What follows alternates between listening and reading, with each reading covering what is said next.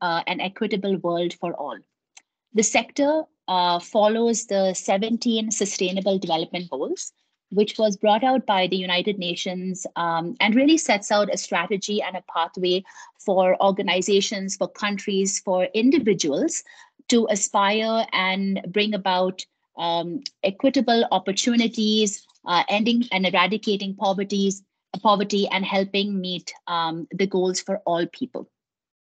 International Development Week uh, is celebrated in Canada. Uh, it was brought out by uh, the government of it was brought out by the government of Canada to showcase the work that uh, Canadians are doing in helping meet these SDGs uh, within Canada, but especially around the world.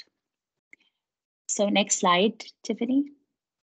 And uh, you know, sorry, I, am I'm, I'm uh, speaking from Bhutan, and it's quite late, and I apologize. This background noise is is my dog who suddenly decided that instead of sleeping, she she wants to go out. So so apologies for this background scratching and noise and maybe barking that you'll hear shortly. Um, so anyway, so we're, you're here today to learn more about um, how Humber is working on the sustainable development goals across the world. Our work really focuses on uh, goal uh, four, which is quality education. Uh, so access to education, quality higher education, but also goal uh, eight, which is access to employment, as well as uh, cross-cutting across the 17 goals, which you'll hear from, from the team uh, in you know, over the next slides. So the IDI is situated within the international uh, office at Humber. Uh, we're a center of excellence that focuses on international development. We're a non-academic unit and we work across the, the faculties, the non-teaching departments, and we engage faculty, staff, and students on international development activities and projects uh, globally. So all our funding comes from internal, so external sources. So these are donors and funders, uh, primarily the government of Canada, government of Canada, so the federal government, but we also receive uh, individual donations as well. Um, and then as you go across the different projects, they'll explain how the funding uh, comes through. And the work takes different forms. So we have uh, projects, uh, we have also applied research, we do community, local community engagement or internationalization at home, such as the IDW. Uh, we involve a lot of students through work integrated learning. Um, and we have uh, customized training where we get uh, requests uh, to do, you know, sort of short-term projects as well. Um, and that's also this, so this spans the work that we are involved in. Um, so over the next uh, 45 minutes, you'll hear from uh, from my colleagues who will tell you more about the work that we're doing in different countries. Um, and I hope this is uh, this, you know, if it's of interest to you, I hope that you will reach out uh, to learn more about our work and uh, and possibly get engaged. So whether you're a faculty, staff, and student, there's always opportunities to get involved. Uh, and I hope that you will reach out to us and and we will look forward to working with you. So on that, I'll hand it over to Tiffany. Thank you, Nalini. All right, okay. So for today, our event speakers are the IDI team members. We have a group of project managers, project leads, and specialists and interns. Um, each of them will have a few minutes to share about their projects, experiences, and how they are advancing the sustainable development goals uh, through their work. So the first person we have is Clarice, who will share about her project STEM Education for Empowerment project. Hi, everyone. Thanks for joining us today. My name is Clarice. My pronouns are she and her, and I'm the project lead for the STEM Education for Empowerment project, also known as STEEP. STEEP is a four-year initiative led by Humber College through the International Development Institute and funded by the Government of Canada through Global Affairs Canada and the Barrett Family Foundation. Uh, the project will be implemented through a triangular partnership with our partners, uh, CAP Youth Empowerment Institute Kenya, a youth skills training nonprofit organization based in Nairobi, Kenya, and Hahu Jobs, an IT company providing technical solutions based in Addis Ababa, Ethiopia. STEEP aims to equip adolescent girls aged 14 to 18 from low income and vulnerable communities in Kenya and Ethiopia with the interest, skills, and confidence to pursue studies and employment in STEM. The project approach will implement gender responsive STEM education and empowerment training to break inequitable cycles that perpetuate gender imbalances in schools and employment. And so STEEP will be delivered through two streams, adolescent girls in secondary schools and adolescent girls out of school. STEEP will take a multi-level and multi-stakeholder approach to address barriers faced by adolescent girls in STEM education employment through delivering training in through in-person and digital methods that include STEM technical skills, life skills, entrepreneurship skills, mentorship, and work readiness skills that are appropriate and relevant to the local context. Uh, by providing adolescent girls with STEM industry mentorship, exposure opportunities, and improving the enabling environment for adolescent girls' education and employment by working with gatekeepers such as parents, adolescent boys, male youth, local educators, administrators to address harmful social norms and systemic barriers to really make sure that they have a supportive and enabling environment um, to learn in and also to work in in the future. Throughout the design of STEEP, one of the key goal or key guiding principles and framework we had in mind is, of course, the Sustainable Development Goals. STEEP deliverables contribute to a number of SDGs, including SDG number four, which is quality education, which aims to ensure inclusive and equitable quality education and promoting lifelong learning opportunities for all. Under this particular SDG, Target 4.5 talks about eliminating gender disparities in education and ensuring equal access to all levels of education and vocational training for the vulnerable, including girls and children in vulnerable situations. STEEP is one of the many initiatives that we are working on to contribute towards this target. Um, and while STEEP is in its initial stages, we are looking forward to sharing more as we move forward through implementation and share opportunities for further engagement. Thank you. Thank you, Clarice. If anybody has any questions for Clarice or any of the speakers later on as well, please drop them in the chat. And if you want to know more about STEEP, please read the Humber Today article or watch the YouTube video, which we will also drop in the chat. Thank you again, Clarice.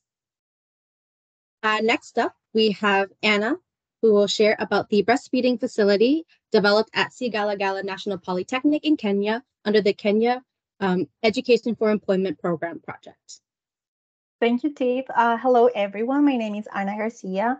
I'm a project lead in the International Development Institute, but I'm so proud and and happy to share with you about this project because when I started at in IDI as an intern, I started collaborating within this project.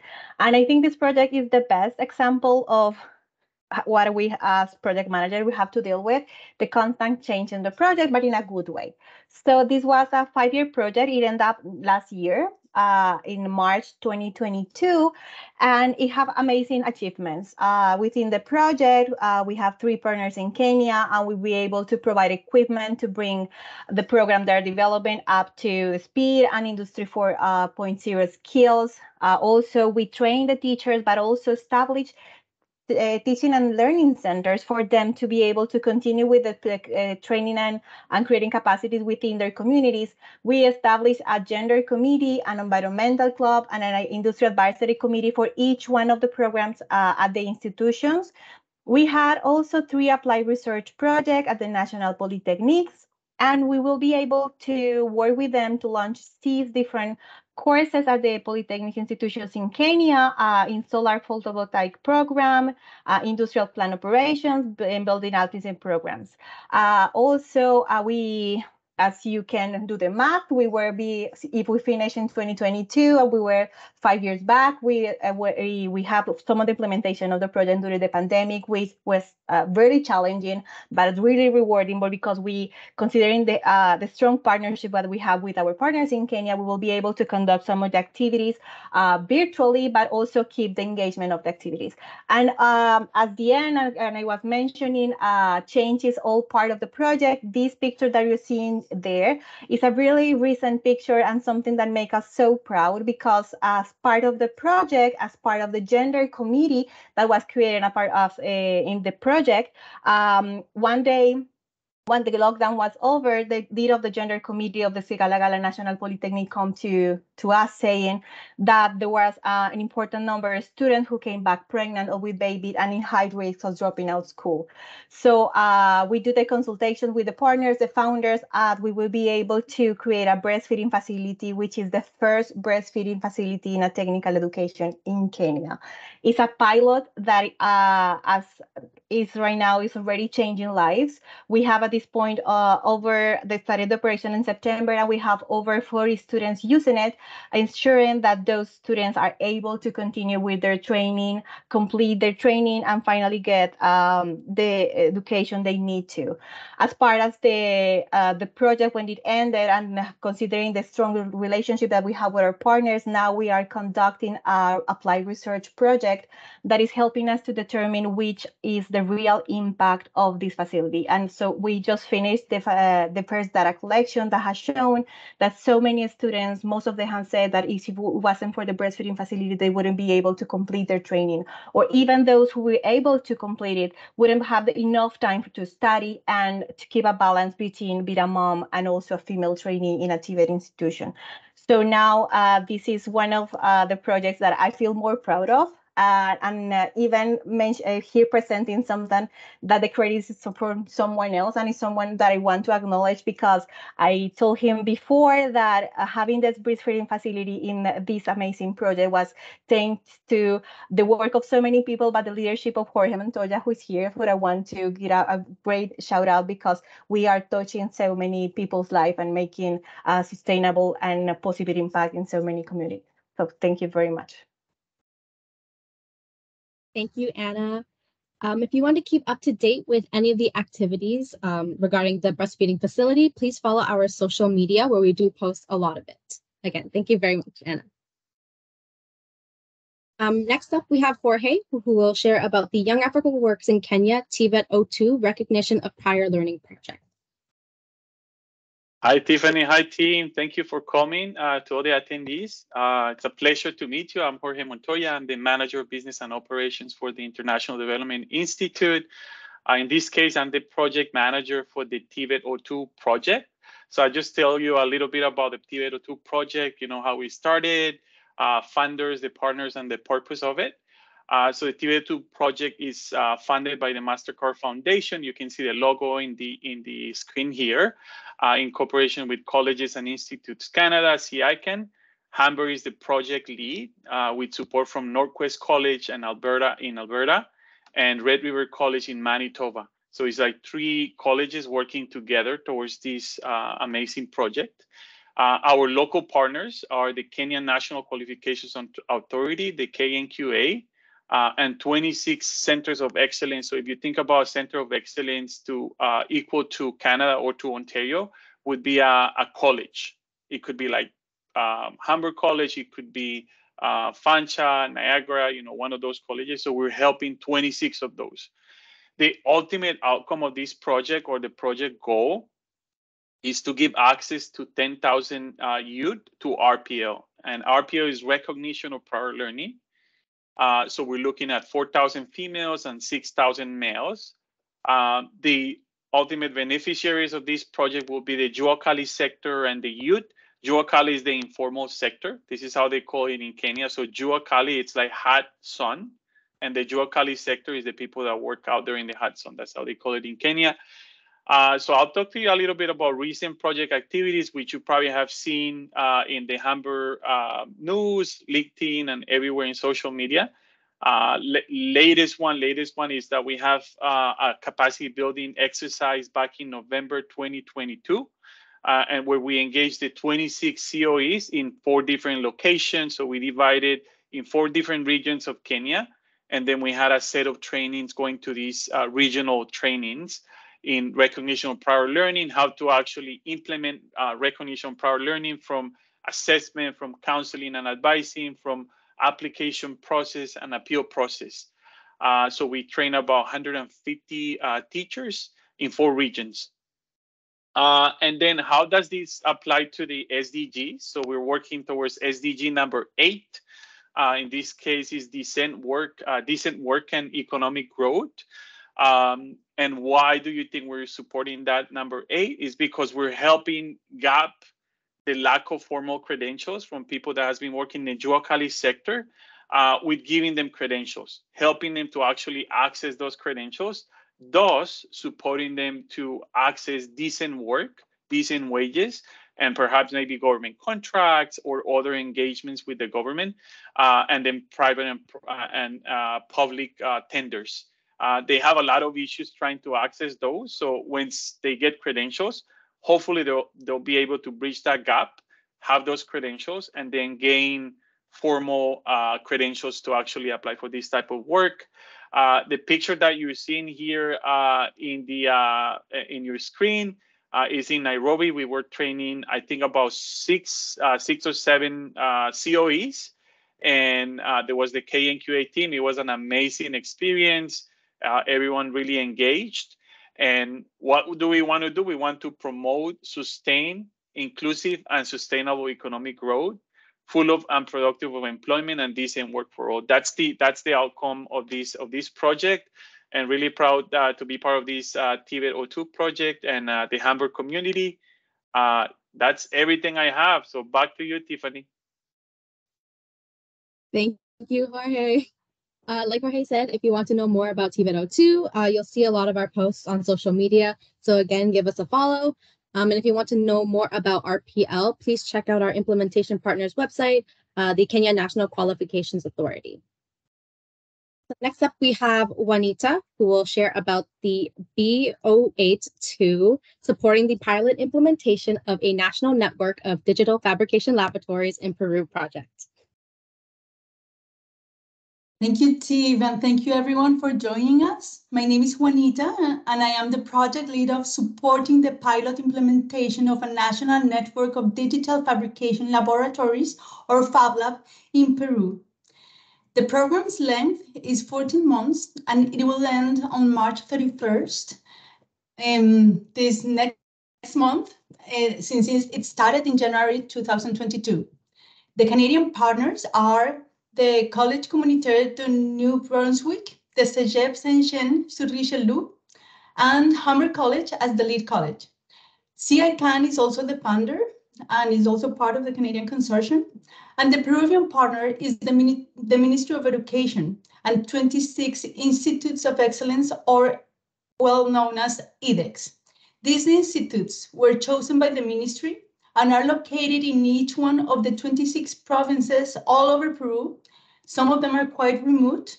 And according to a ministerial resolution from 2017, an IDEX is characterized by its regional leadership and development of innovation and research. This project involves some SDGs such as inclusive and equitable quality edu education, gender equality, among others. However, we want to focus on the Sustainable Development Goal number nine, which seeks to build resilient infrastructure, promote sustainable in industrialization, and foster innovation. So how do we foster innovation? Um, through training and one-on-one guidance with those 25 institutions, with teachers involved in Fab Labs or Idea Labs, and, to, and, and each institution developed an innovative project proposal. I want to say what is a Fab Lab. Like, like some of you probably don't know, it is a digital fabrication laboratory. In Humber, we call it, we call it Idea Lab. And it is a place where anyone can make almost anything using digital design through printers uh, or, or other technological means. But a Fab Lab is about turning ideas into reality.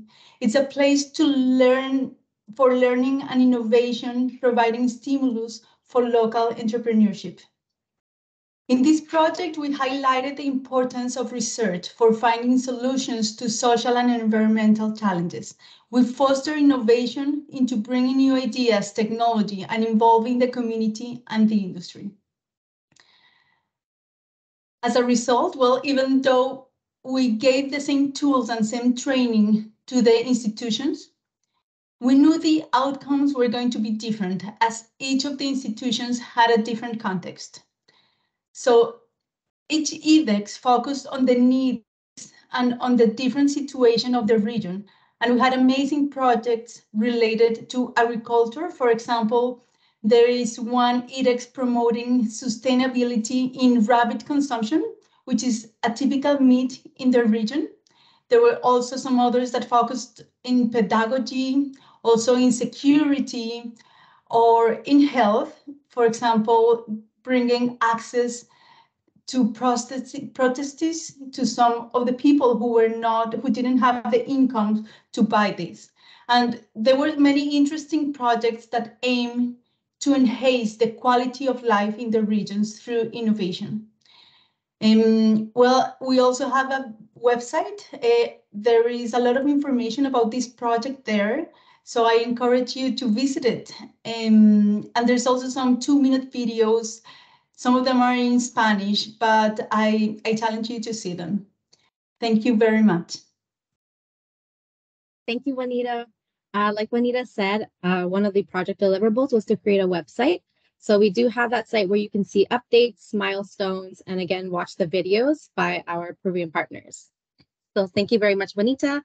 Um, up next, we have Vidushi, who will talk about the Empowerment Through Skills Training Program in Tanzania. Hi, everybody.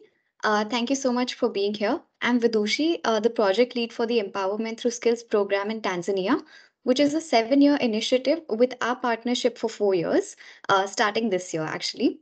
This has been funded by the Government of Canada and implemented by Colleges and Institutes Canada in close collaboration with the Tanzanian uh, Ministry for Education, Science and Technology and the Department of Technical and Vocational Education and Training in Tanzania.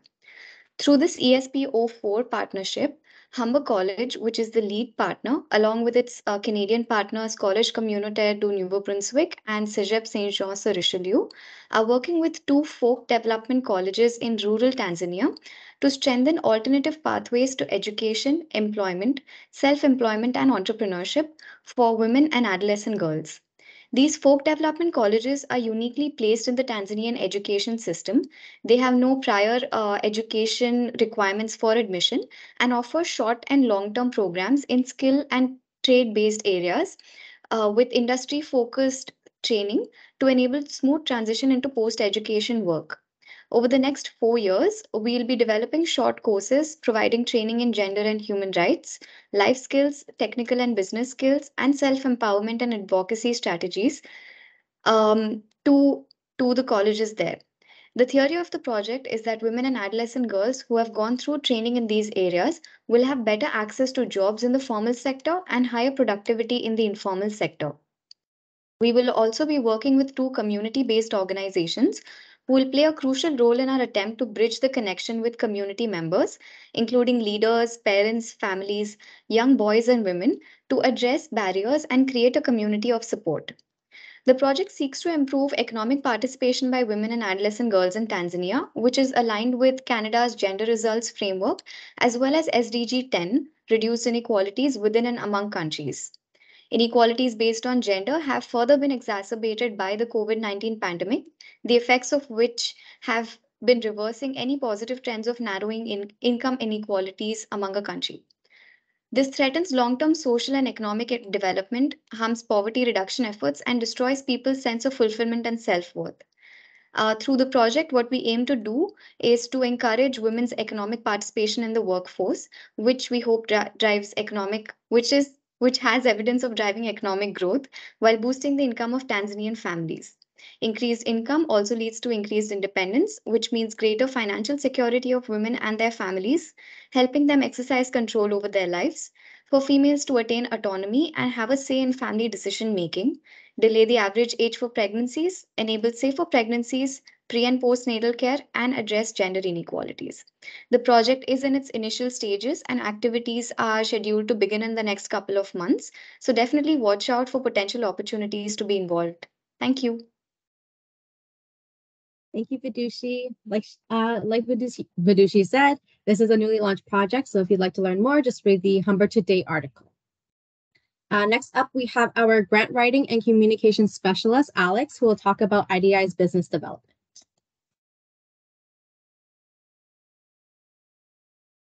Hello, everyone. Thanks for coming. Uh, like Tiffany said, I work in grant writing and strategic communications. Uh, so I work primarily at the beginning of projects versus a project lead who will be through the project through the design. So I wanted to start just by recapping what Nalini had said in the beginning about what international development is.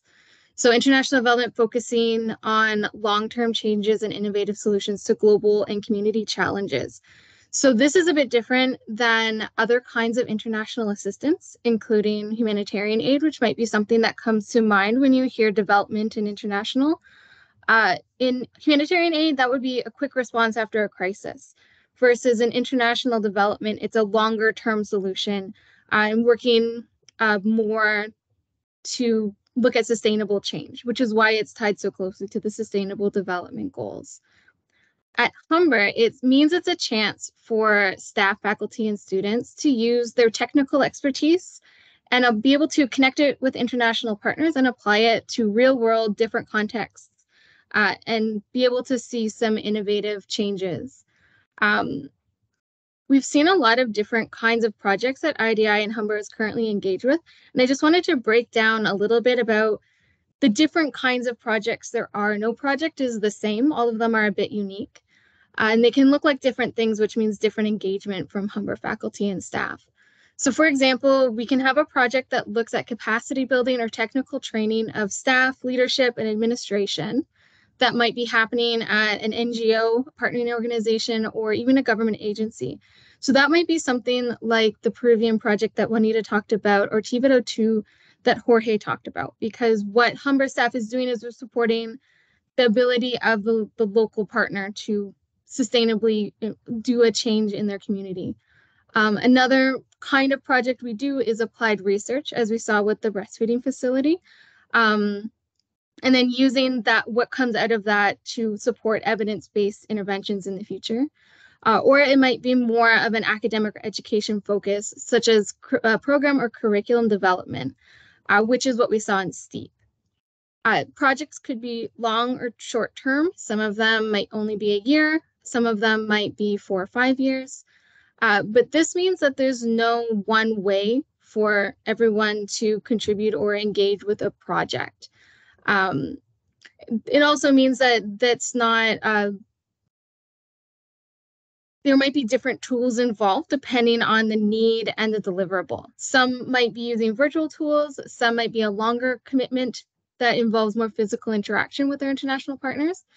Um, but it's important to keep in mind that these kinds of engagements, we want to focus on equal partnerships. So it's important that all of the engagements that Humber does is meaningful both to Humber participants and to our international organizations and partners.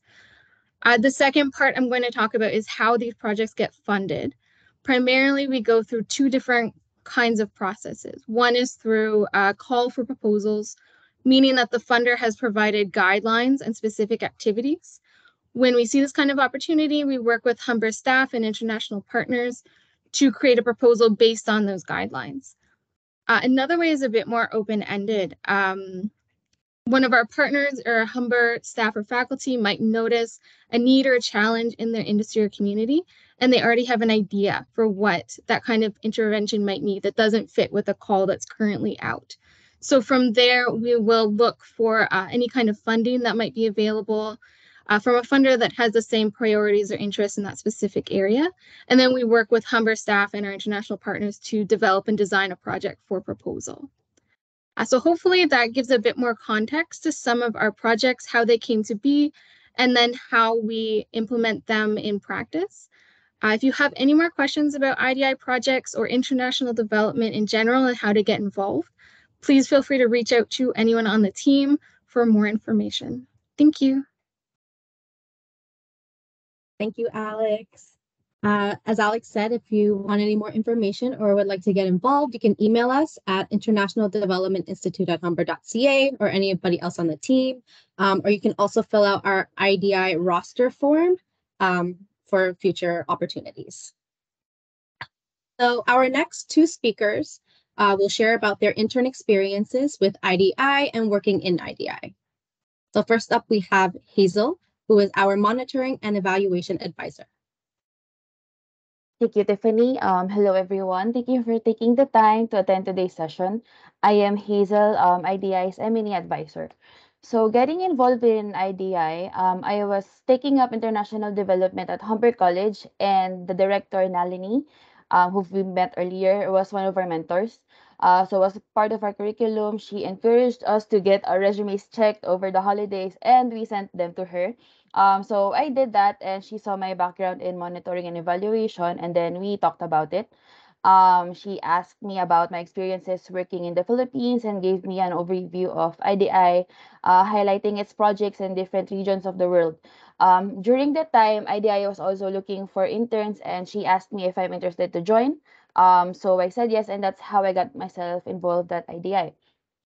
So um, during my internship, uh, we were finalizing two recently approved projects. Uh, I was involved in finalizing the project plans for the SLEEP project in Kenya and the BEST project in Bhutan. Uh, so I helped the team starting from drafting the project implementation plans, focusing on the M&E components, to having it approved by the donors, and eventually uh, joining and implementing the baseline evaluations. Uh, so aside from these, I also reviewed M&E tools for the team, and one was the online M&E platform that we are using right now. Uh, so ever since I joined the team, I had been helping find ways to incorporate a much more fitting M&E into the projects that not only helps the project team learn about their contributions and successes, but also helps tell our story as the IDI team. Um, so as a newcomer to Canada, uh, working with IDI has helped me know more about the country and how it contributes to the welfare of the rest of the world. Uh, so I have been working in ID for quite some time now with experiences related to different thematic areas in the Philippines. And uh, back then, I thought that was enough number of years to be a so-called expert. But working for IDI took me back to my roots. So I learned how different working for the Canadian development organizations are compared to us back home. Um, so coming coming in with my experiences from a receiver country, it was exciting to see the intricacies of working from the donor country. So it gave me a new perspective of development. Um, it also helped that I am surrounded by familiar people such as my former classmates and professors, which is very helpful in adjusting to a new country. Uh, I've recently transitioned from an intern to a full-time staff, being IDI's M&E advisor, and I am applying the skills I learned from working in the Philippines to make sure we embody IDI's advocacy of creating an enabling, empowering environment for our partners. Thank you. Thank you so much, Hazel. Uh, next up, we have our operations intern, Lucia. Hello, everyone. I hope you're doing well. So my name is Maria Lucia. I am a student from the Bachelor of International Development. I got involved with IDI because I was interested in learning how Humber's international development worked, what uh, they did, and their involvement in the development field, as well as the Canadian industry of development. So thankfully, an opportunity to intern at IDI arose while I was looking for my placement. So I applied, and I was welcomed with open arms, kindness, and patience. Everyone uh, has taught me so much, and I have had the opportunity to work in different projects, learn unique things from different regions of the world, issues they face, how we at IDI work, and more beyond what I originally expected. I have supported different projects such as the TVIT02 that Jorge talked about with Kenya and uh, the Peru project that Juanita talked about, where I learned a lot about communication and teamwork, as these projects have different partners with many ideas, busy schedules, and different time zones.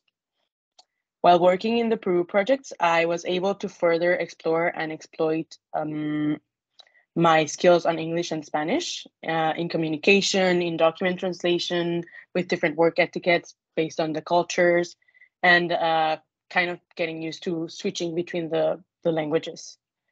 Um, from working in the different projects, I have learned about different education tools and innovative ideas that I had never heard of before, such as the Fab Labs and the edX projects presented in the Peru projects.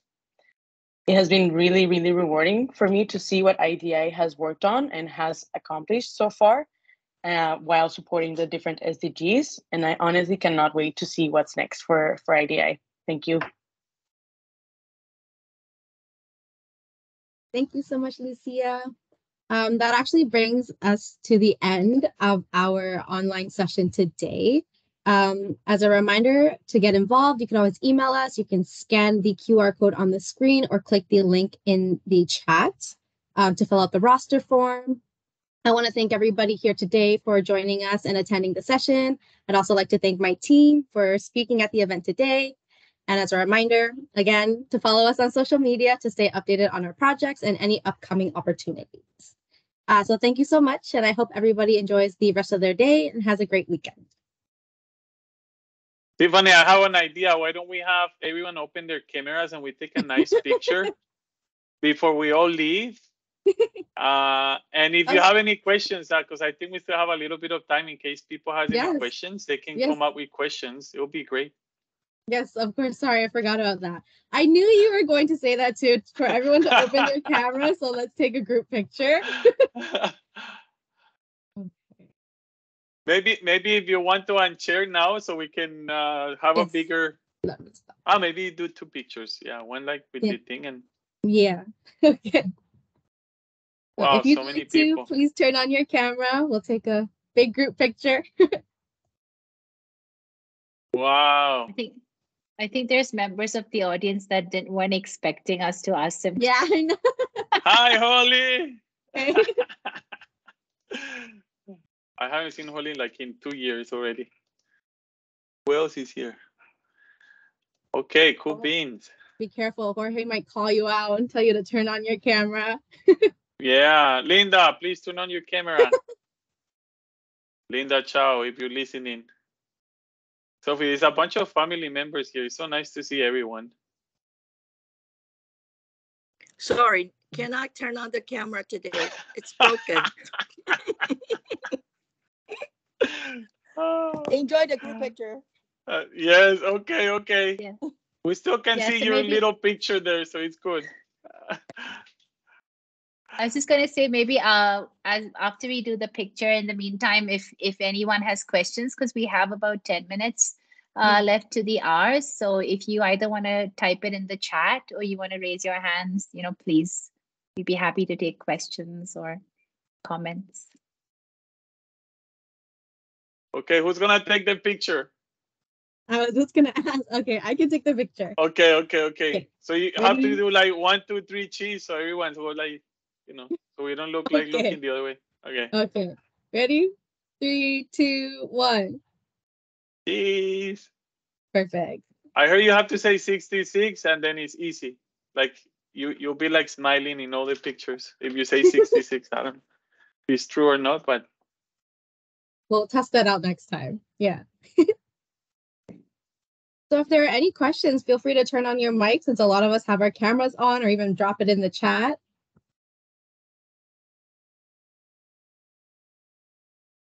One at a time, please. One question at a time.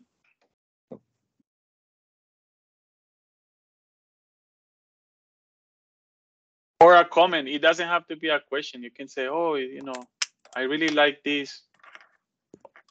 Oh, there's a hand raise. Go ahead. John Santos, Patrick. yeah. You have John Santos too. Yeah. Uh, Tiffany. Hi. Hi, John. Hello. Um. So what? You guys did a wonderful job with the projects, but I was, I was wondering how the project ideas came to be. Like, I'm pretty sure there were other concepts that you guys were thinking about, but how did you choose the specific ones that that were like carried out and all that.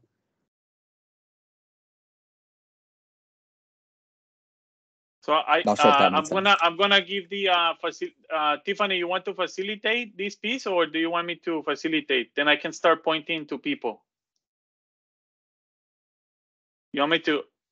It's up to you. Steve, oh, you muted. Let Do it. You're let muted. Jorge do muted. it because he'll love that. Okay, yeah, go ahead, Jorge.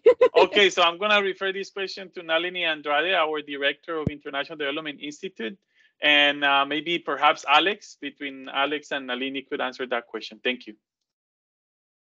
Sure, thanks, Jorge. Um, I'll start. I'll start off, John. it's uh, I, I, I, there's no uh, short way to say it, but then I'll hand it over to Alex, uh, who could also explain.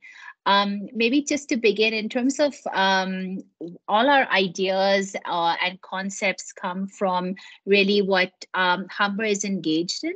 Uh, has engaged with in the past, lessons that we've learned, as well as what we're doing now, um, and also from our partners. So we're constantly in this process of exchanging ideas with our partners, exchanging ideas at Humber um, of what people are doing locally that we could implement globally. So taking local to global, but also global to local as well. Um, so that's sort of in in the in the context of where these ideas come from. But um, the the nature of when we pitch an idea is um, really focused on whether it's a call for proposal. So sometimes when the funder does a call for proposal, they specify um, the area of work, um, the countries or the regions where they expect the solution or the idea to be, um, and sometimes as well the type of solution they want it to be, or by knowing the background of the funder, we kind of have an idea of what sort of um, you know like what boxes we need to check in order for uh, our proposal to meet the funders needs as well. So uh, for example the government of canada uh, through global affairs canada follows a feminist uh, approach to international development hence the the the uh, emphasis on on women and gender equality so we know for projects related to Government of Canada, uh, the project does have to have a focus, very high focus on gender equality, um, on environment, because that's another uh, priority on good governance. That's a third priority as well. Um, and then it depends on the on where they want the funding to go. So they'll say, you know, we want to put funding um, for education projects or health projects. Um, and so that that kind of becomes a broader context for us. Um, and, and so then maybe now I'll give it to Alex so Alex, you can then focus a little bit on the idea itself.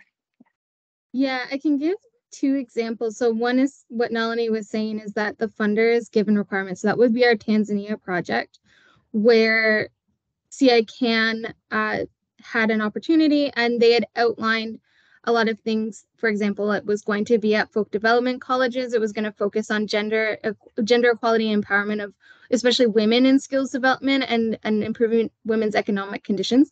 So looking at Humber's uh, what we had in terms of technical expertise, we were able to match up with that opportunity and design a proposal based on what the funder wanted.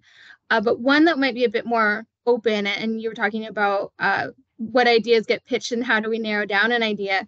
We did a project last year called EDC Kenya, which was looking at, it was a one year project pilot program for digital entrepreneurship for refugee women in Kenya.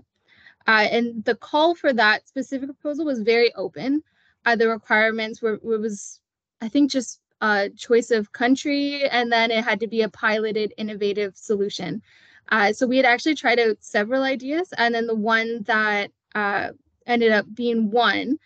We had met with, we had a partner in Kenya who was already delivering skills. We met with several different staff and, and leadership at Humber to see what could we offer, what do we have, how can we work with our Kenyan partner to have something that would fulfill their needs and then provide a good benefit and also pilot an innovative idea. And that's where, uh, through all of the conversations and consultations, putting it down to a concept note, which got submitted. Uh, we got notes on that, which helped us then narrow the focus and design the project even further for a full proposal. So EDC Kenya was a project that finished last year, and I think we have some uh, resources from there that we can share maybe. Um, so you can kind of see, but that was definitely a project that had several different ideas and um, we did narrow it down in terms of feasibility, uh, the expertise available, and then the need in the country.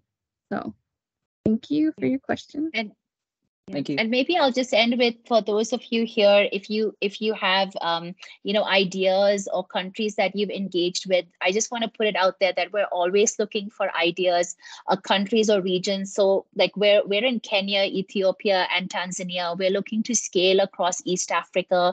Um, we if you know we have a lot of French speaking partners from Canada, but we're always looking at you know for French speakers and multilingual um, you know uh, staff, faculty, and students to engage so we you know even if you don't want to engage directly but you have an idea we we'd love to hear from uh, from you.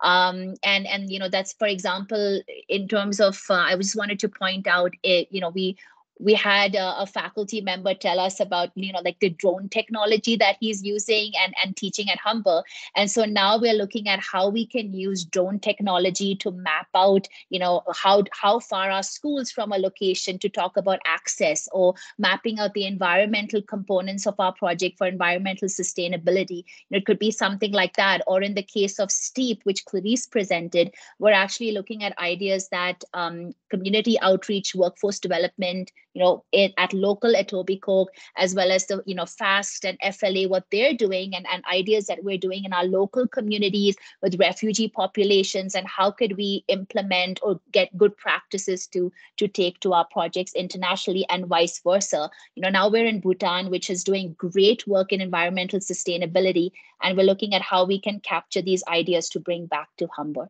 So maybe I'll just leave it there yeah, back to you, uh, Tiffany, and if there's anyone else who has a question. Are there any more questions? Feel free to turn on your mic, drop them in the chat. Tiffany, there's a question in the uh, in the chat box here uh, from uh, Tolu Wanini Ojesiku. It says, good day. Please, I would like to know if there are virtual volunteering opportunities with IDI. Uh, that's one of the questions. So um, yeah, Please take it away, Jorge, Nalini. I'm gonna refer this question to Nalini too. Fact, it's back to me. All right. Uh, I think um, you know the first the first step would be to definitely fill out the roster form so we understand skills. Um, everyone you you met here who spoke about their internship internship experience has been virtual because we were two years into pandemic and our projects didn't stop. So all the results is across the two years. So whether it was the grant writing work or our project implementation, we did do it virtually. So um, yes, the answer is yes. There are virtual opportunities opportunities uh, in order to determine sometimes um, we actually have a need and so we post and circulate it um, you know on student platforms.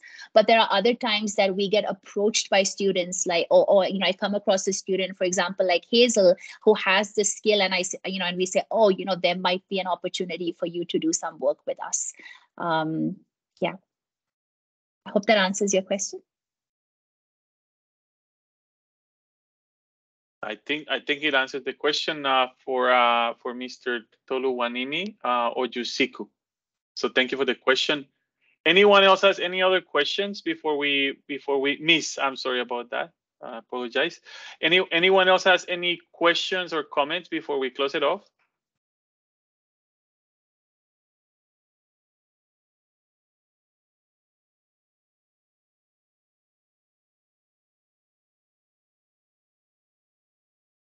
Well, even if you do, you know how to reach us, Tiffany. Yeah. you shared yeah. the contacts. So uh, yeah, so if you don't want to be put on the spot, please, you know, take your time, think about it, and uh, we're always happy to to you know meet for a, a virtual meeting. Um, we are also, I mean, I'm not in in the Toronto area, but the others are. So if you want to have a coffee chat or um, yeah, always happy to engage. Thank you for coming, everybody please feel free to email us or fill out the roster. Um, thank you so much. I hope you learned a little bit more about us and our projects and then stay up to date with them as well. Thank you so much. Have a great weekend. Bye bye. Thank you. Bye, guys.